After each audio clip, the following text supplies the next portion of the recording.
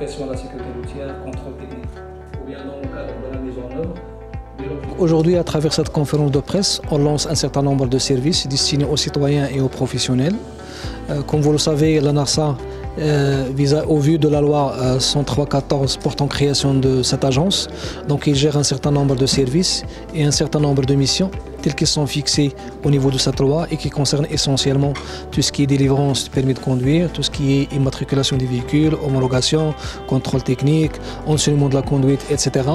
Et aujourd'hui, euh, pour améliorer la qualité de service, on, a fait le choix stratégique justement d'investir dans la digitalisation, la dématérialisation des, processus et euh, pour cela, donc, on a euh, signé déjà une convention avec Barid Bank et Barid Cash pour externaliser toute la partie front office augmenter le nombre de points d'offre de services euh, de 75 avant, c'est-à-dire au début de, l'activité de la NARSA, à plus de 800 points de contact, donc ce qui nous permet d'assurer un, service de qualité et de proximité pour les citoyens.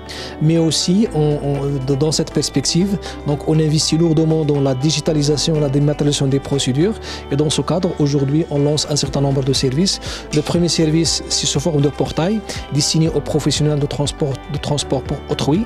Donc, il permet de gérer le programme de renouvellement du parc et prime à la casse et qui permet aux professionnels de créer un compte, de déposer leurs demandes et le système permet l'interaction avec l'ensemble des acteurs concernés, notamment les ministères du transport de la logistique pour s'assurer de l'éligibilité des personnes, des, demandeurs, mais aussi avec les casseurs et avec les concessionnaires automobiles.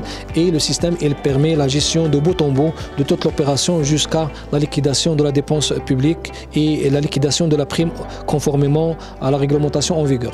Trois espaces également avec un nouveau Cette rencontre euh, s'inscrit dans le cadre de notre plan de communication globale.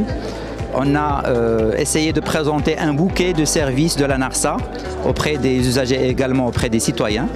Euh, il y a plusieurs composantes, dont notamment notre site web qui, qui est scindé en trois espaces. Un espace institutionnel, et un espace de prévention et de sécurité routière et un espace de service. Donc c'est un site web euh, une plateforme interactive à travers laquelle nous voulons euh, véhiculer euh, l'information utile et également donner un bouquet de services auprès des citoyens. Également, il y a la Narsa TV, c'est une web TV elle est composée de plusieurs genres journalistiques. C'est une plateforme numérique également, à travers laquelle on trouve des micro-trottoirs, des reportages, des magazines, des vidéos en arabe, en français, en amazir. C'est une plateforme de communication interactive. C'est une fenêtre euh, pour le citoyen pour qu'on puisse donner la bonne information.